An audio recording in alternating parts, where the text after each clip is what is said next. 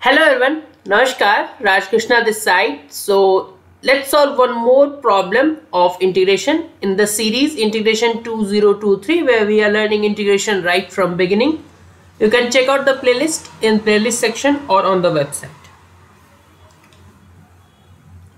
So on the first side it is not looking a problem of substitution or any other simple method but if you do write this in a different way like uh, you can write root uh, x as root x square and then root x.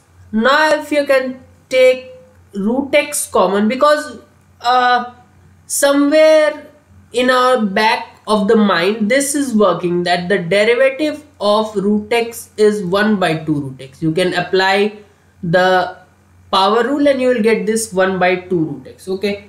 So if you take root x common in denominator so you will get uh, 1 root x from here and a 1 from here. Now if you take this whatever is inside the bracket as t so now derivative of root x is 1 by 2 root x derivative of 1 is 0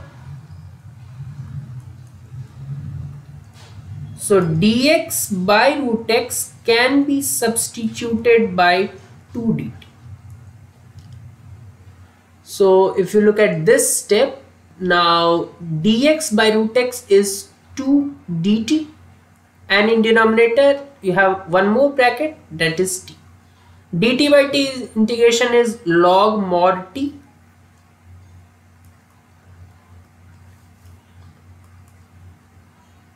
and what was t? It was root x plus 1 so this is the final answer for this particular problem. Again this was not a difficult problem at all.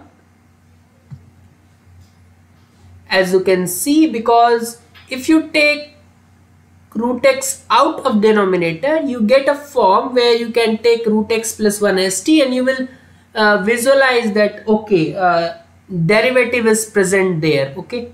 So sometime you need to simplify before taking a substitution and then uh, you can apply the substitution. So simplification plays a big role in this type of problem. You can watch out more such uh, problem in the playlist uh, and share it to your friends. Thanks again